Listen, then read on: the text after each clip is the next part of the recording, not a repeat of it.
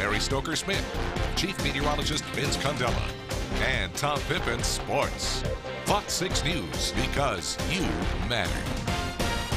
Aurora, Newtown, Oak Creek, communities now synonymous with mass shooting tragedies. Police say the next one could be anywhere. Tonight, police take our Ben Handelman inside a training mission in what might be the last place you'd expect. It is a story you'll see only on Fox 6. And God, we pray that you would enter into our lives. We worship a living God. And when we come together, we're here to worship Him, to celebrate Him. Sunday service fills the Westbrook Church in Hartland with sound. Worship through the sung word, God, we know that you through the spoken word. you reward those who You got a six-person team. Each have one magazine for the rifle. we pray that you would begin A that peaceful service this day. Move. about to change. Inside the auditorium, Help! I'm dying! Help! bodies cover the ground. I'm gonna shoot! Two shooters are on the loose.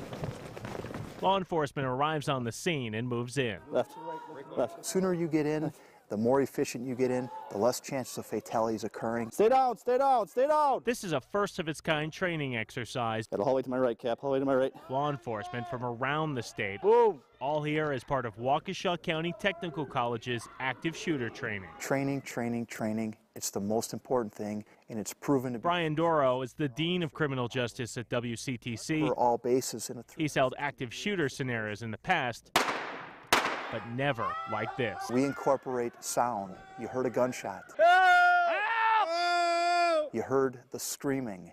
You, you saw the role players. I'll shoot! Never before has his program trained inside a church or such a large facility. The active shooter, the mass murderer, is not particular to location anymore.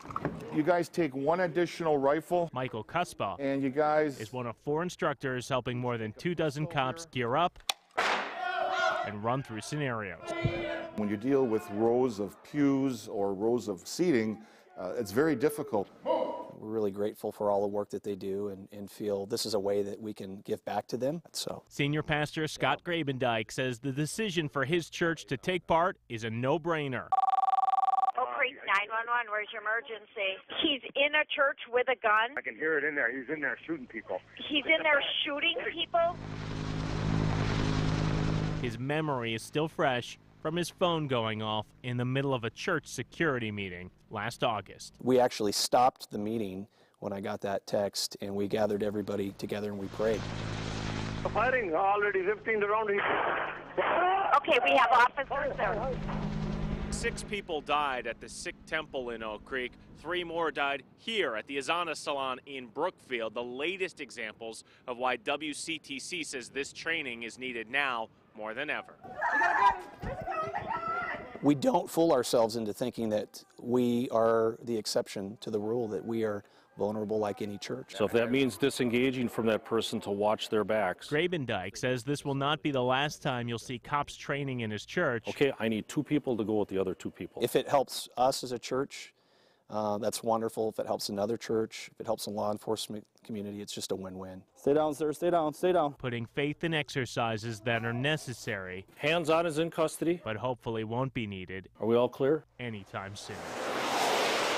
The problem is over. Go ahead and reholster. In Hartland, Ben Handelman, Fox 6 News. WCTC has several active training sessions per year. In the past, they've held scenarios in schools, vacant buildings, and even a movie theater. You know, five years ago we would have said it's absurd, but now